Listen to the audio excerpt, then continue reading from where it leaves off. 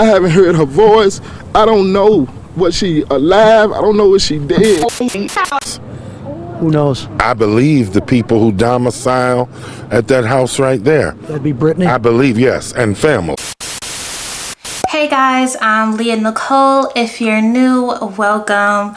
So we have another case, a 19 year old girl that went to Detroit during Thanksgiving break to see a friend that she thought she can trust, but ended up disappearing. Now, unfortunately, her case is still unsolved. They gon' find you, catch you sleeping. Ooh, ooh, ooh, stay woke. Jasmine Moody was a 19 year old girl from Texas, and her mom, Lisa Nichols, and stepfather, Patrick, stated that growing up, Jasmine was a social butterfly and very popular in school. She always had a smile on her face and was always kind to others. When she graduated high school in 2014, she received an academic scholarship to attend Texas Woman's University to become a nurse. During her first semester of college, her freshman year was going great. She was a part of the ROTC and dance team, and she was very active on campus and always had good grades. And since she was away from home, she always made sure to call her mom. They had a very close relationship, so she always kept her mom updated about her life and what was going on at school. Now, when Thanksgiving break approached, Jasmine made sure she told her mom that she was gonna spend the holidays with one of her friends this time for Thanksgiving.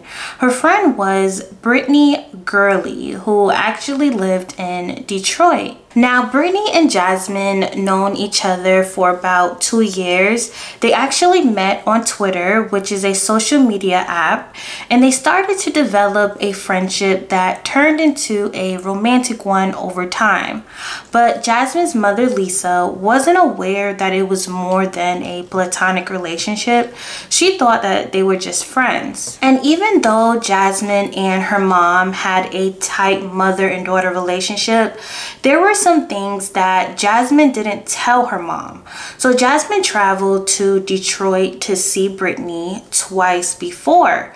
So during Thanksgiving break, Jasmine told her mom that she was going to Detroit to stay there for 11 days and leave on December 5th. Lisa told Jasmine that she didn't feel comfortable with her going this time and that she should just come home for the holidays.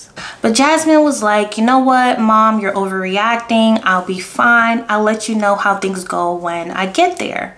But the last thing anyone was thinking was that Jasmine will be in danger. So after class, Jasmine went to the airport to catch her flight and booked a plane ticket to come back home to Texas. She still had school to attend. So on November 25th, Jasmine was in Detroit ready to see Brittany. And Lisa spoke with Jasmine when she arrived in Detroit and Jasmine told her mom, hey, I'm fine. I'll keep you posted while I'm here. And Lisa was able to speak with her daughter a few times when she actually arrived at Brittany's house. So during Jasmine's stay in Detroit, there's barely information out there about what she was doing or how she was feeling while being with Brittany. But on December 4th, on a Thursday, Jasmine and Brittany got into a big argument regarding a post Brittany made on her Facebook. The argument was very heated, but there's no information on what Jasmine actually saw on Facebook, and Brittany eventually deleted it. But it had Jasmine over the edge to the point Jasmine stormed out of the house and left Brittany. Now, Lisa was trying to get in contact with Jasmine since November 20th, but wasn't able to reach her. Now, Jasmine's um, cell phone kept going straight to voicemail, so deep inside, as a mom, she knew something was wrong. Like I said, they talked all the time. So Lisa contacted Brittany right away to figure out where was Jasmine. You know, she hadn't spoke to her for a whole week. And what made things very suspicious to Lisa was the fact that Brittany never even reached out to Lisa to let her know, you know, hey, Jasmine left the house. She never came back. I haven't seen her. So Lisa was like, hey, Brittany, you know, I've been trying to reach Jasmine. And because Brittany was acting so nonchalant, Lisa is like, you know what? Let me go ahead and talk to your mother. So Brittany was like, well, my mom is not home. I'll have her call you. And she hung up the phone immediately. So Lisa felt very uneasy about what was going on. So she called Brittany multiple times after that phone call every day. But Brittany would not pick up the phone. So after several attempts, Lisa was able to speak with Brittany and her mother. Now when she spoke with them, they told her what happened and that Jasmine got in a fight with Brittany and Jasmine left the house.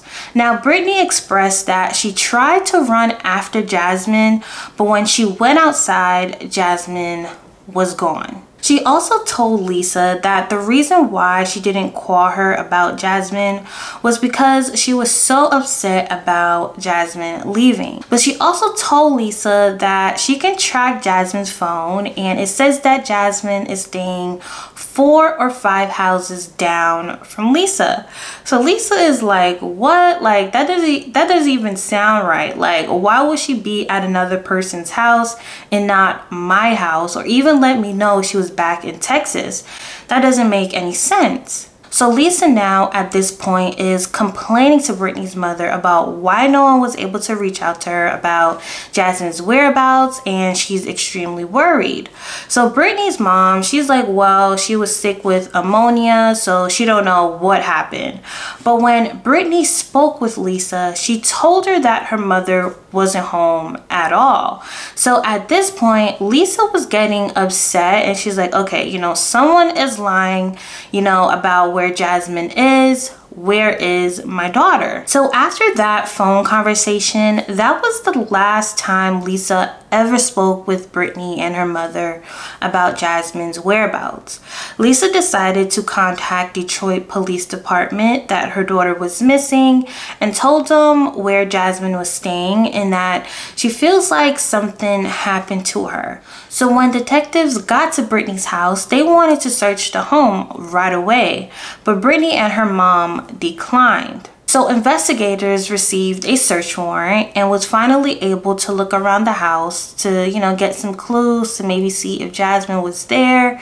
And throughout the search, they felt like something was wrong.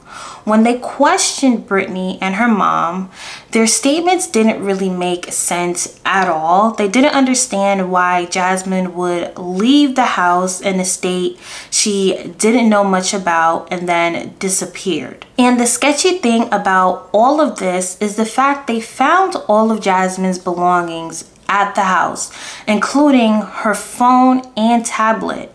So when Brittany told Lisa that she was able to track Jasmine's phone and how she was a few houses down from her, that was a bold face lie. So when Lisa found out that Jasmine things were still at Brittany's house, especially her phone, she knew something bad happened. So when Lisa found out that Jasmine things were still at Brittany's house, especially her phone, she knew something bad happened because Jasmine always had her phone. But investigators couldn't really do much on their end because there was nothing at Brittany's house that indicated they did something to Jasmine besides her things being there. Investigators checked around in neighborhoods, they checked hospitals, local jails, but there was still no signs of Jasmine.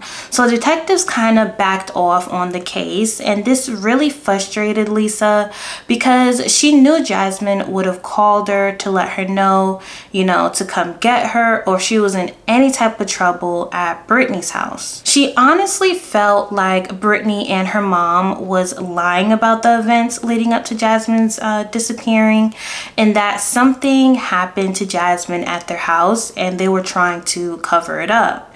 Now, Jasmine's family felt like detectives could have been more hands on and really pressed Brittany and her mom for some answers, considering that was the last place Jasmine was at. Over time, investigators never reached out to the family to keep them updated regarding the case, nor did they ever return Lisa's phone calls. Lisa also shared that investigators failed to insert Jasmine's information correctly in the FBI National Crime Information Center. Detectives felt like, you know, there was no evidence that a crime was committed, nor did Brittany and her mom have anything to do with Jasmine's disappearance. They stated that Jasmine's case will only be considered a crime if she was kidnapped or, you know, was murdered. But they felt like she was an adult and left at her own will. They needed evidence to confirm if a crime was ever committed. So a few weeks after Jasmine disappeared, Brittany didn't talk much to the police, but on a news interview, she shared that her and her mother was cooperating with police in that she took a polygraph test. But the results was never shared to the public and police never shared with, you know, Lisa if they ever made Brittany even take a test. So we don't know how truthful that was and if they did, I would think police would share the results with Lisa and her family. Eventually, Lisa decided to hire a private investigator to find some answers, but it looked like, you know, there was no new solid evidence with Jasmine's case. So of course that left Lisa kind of feeling hopeless. You know, we had a 19 year old, you know, college student that went missing during Thanksgiving break and the media barely covered it. So after one year in 2015, Lisa and, you know, family and friends decided to take a 17 hour bus ride to Detroit to look for Jasmine and do a huge search party. They passed out flyers, put pictures of Jasmine around the community where, you know, she was last seen. And after this event, this is when Crime Stoppers reached out to Lisa to help bring awareness for um, Jasmine's case. And after this event, Brittany made another statement. She said, quote, she didn't know anything about Jasmine's whereabouts. And when she first went missing, she tried looking for her and quote, I thought she went for a walk and I went outside to light a cigarette. And I came back home, but Jasmine didn't. And when Brittany was asked if she thought Jasmine was alive, she said, quote, in my heart, I know she's okay. She's out doing what she wants to do. I think honestly, the reason why she left was that she was running from something that had nothing to do with me. So after Brittany's statement, I kind of feel like her statement was a bit heartless and insensitive. I feel like her saying she's probably out doing what she wants to do is a little weird to me because no one has heard from her since she left your house. And I'm sure she would love to be with her mom and her family. I mean, she had a lot going for herself. She was in school for nursing. She was focused, you know, on bettering herself. She got good grades. She was in the ROTC program. She was into dance. I mean, she was busy. So for her to kind of just throw that all away and run away, it doesn't make any sense, especially if she was in a state where she barely knew anyone but you.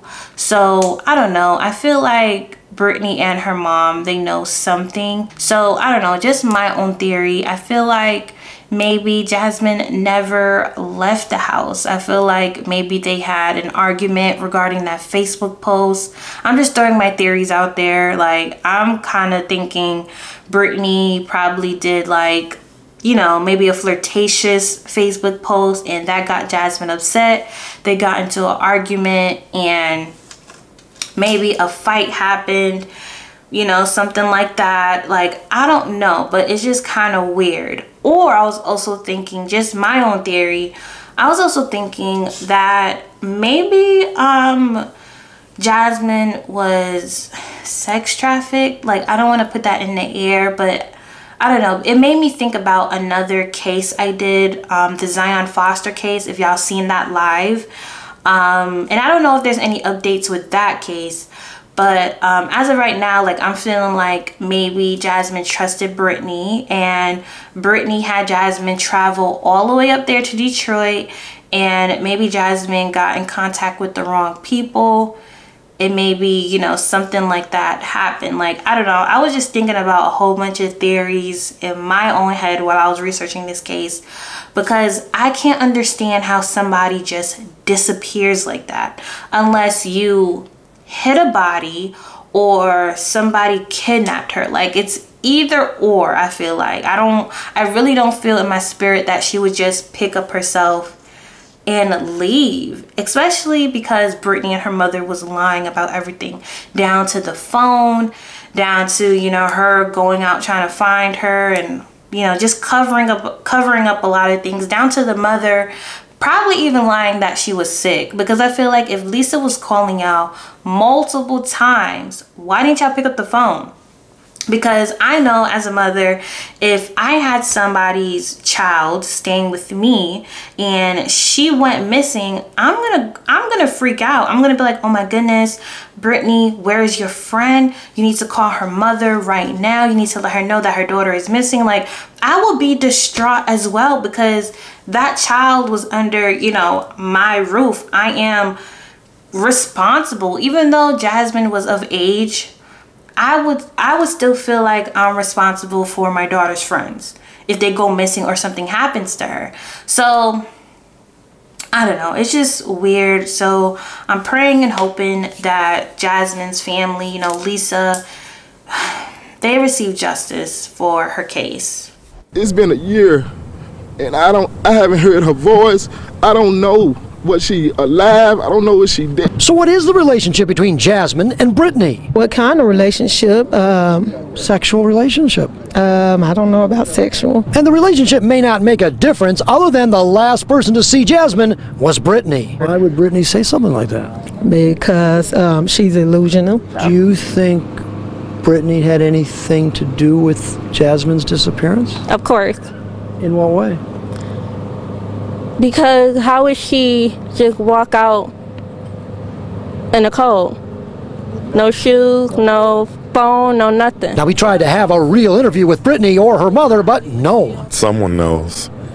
Who knows? I believe the people who domicile at that house right there. That'd be Brittany. I believe, yes, and family. What do you think happened to your daughter? That's the big question. That's the big question I want to know. Detectives do feel like foul play was involved, but they have no leading evidence as to what really happened. And her parents are still looking for her. You know, they do know that it's a possibility she might not be alive, but they really just want to know the truth about what happened to Jasmine. So guys, you know, as of right now, before I close the case, let's go ahead and pray for um, Jasmine's family because I know it's still tough to go through this, to not know what happened to your daughter, to not know what happened to your loved one. And as of 2022, this case is still unsolved. It's it's barely any active, you know, investigation going on. So let's go ahead and pray for her family. Father God, we come together and we pray for Jasmine's family, her mom, her father, her um, family and friends, Lord. We just ask you to reveal the truth. You know all things. You know all the things that go on in the dark, Lord God. I pray that you convict Brittany and her mother, Father, Lord God, to come out and just tell the truth, Lord. And I'm also praying for a protection over um, Lisa and her family, Lord God. And I'm also praying that um, this year or the year after, Lord, new evidence come out with this case, God. In Jesus' name, we pray. We're praying for peace and comfort and healing. In Jesus' name, we pray. Amen. Thank you guys so much for tuning into this case. Don't forget to share it. Don't forget to bring awareness to these cases. And I'll see you guys in the next video. Catch you sleeping. Ooh, ooh, ooh, stay woke, baby creep.